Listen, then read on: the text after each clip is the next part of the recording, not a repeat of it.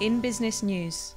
Τον τομέα των ακινήτων και τις σημερινές συνθήκες θα προσπαθήσουμε να προσεγγίσουμε με τον κύριο Χαράλα Μπομπετρίδη, εκτιμητή σύμβουλο ακινήτων.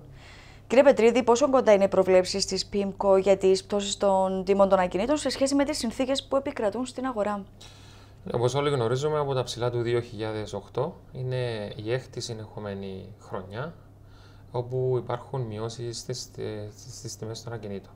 Φυσικά αυτό ποικίλει από περιοχή σε περιοχή και από είδος ακινήτου σε είδος ακινήτου.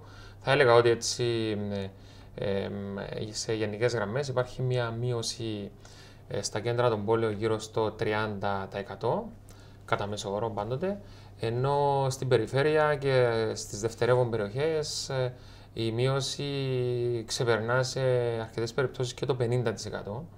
Ε, σίγουρα τα προβλήματα ρευστότητας και ψηλών επιτοκίων που έχουμε στην αγορά ε, είναι τροχοπέδι προς την ε, περαιτέρω ανάπτυξη του κλάδου των κατασκευών και των ακινήτων γενικότερα. Να μας αναφέρετε τύπους ακινήτων που δεν έχασαν σημαντικό μέρος της αξίας τους και αν μπορείτε να μας προσδιορίσετε περιοχή. Κοιτάξτε, όπως έχω ήδη προαναφέρει, όλα τα κινήτα έχουν χάσει αξία. Λιγότερη αξία έχουν χάσει αυτά που βρίσκονται στα κέντρα των πόλεων και δει τα εισοδηματικά κινήτα, αυτά που είναι σε κεντρικές περιοχές. Υπάρχει ένας καλός ενοικιαστής, ο οποίος αποφέρει κάποιο εισόδημα και επίσης τα επί του παραλιακού μετόπου, δηλαδή αυτά που βρίσκονται στην πρώτη ζώνη επί της παραλίας και τα μοναδικά θα έλεγα αυτά τα unique developments, τα projects τα οποία έχουν μια μοναδικότητα όπως η Μαρίνα Λεμεσού, όπως για να μην αναφέρουμε ονομαστικά, όπως ιδιαίτερα τα, αυτά τα unique projects τα οποία βρίσκονται στο pipeline ή έχουν ήδη αποπερατωθεί.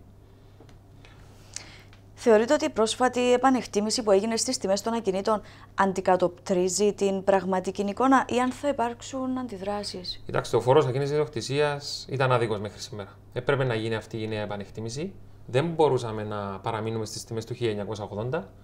Πολύ ορθώς η κυβέρνηση προχώρησε στην μεταρρύθμιση των τιμών σε τιμές του 2013.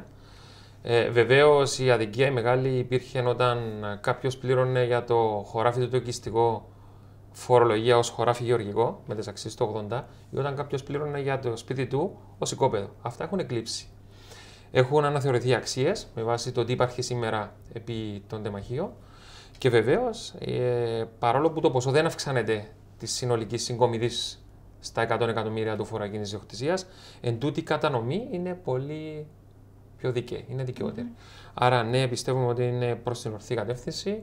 Και ακόμα επίσης θεωρώ ότι θα πρέπει αυτός ο φόρος να είναι ανακίνητο. Ανεξάρτητα από ποιος κατέχει μια κατοικία, θα πρέπει η φορολογία αυτής της κατοικίας να είναι on a property base, να είναι βασισμένη στο ακίνητο και όχι στο άτομο. Ε, επίσης, κλείνοντας, θα ήθελα να αναφέρω ότι είναι.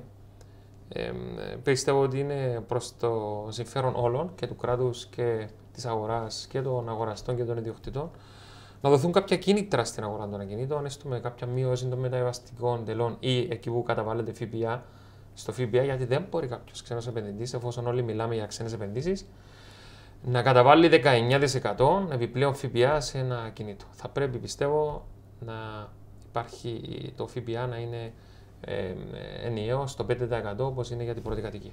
Μάλιστα, κύριε Πετρίδη, σας ευχαριστούμε για όλες τις πληροφορίες. Και εγώ σας ευχαριστώ. Να είστε καλά.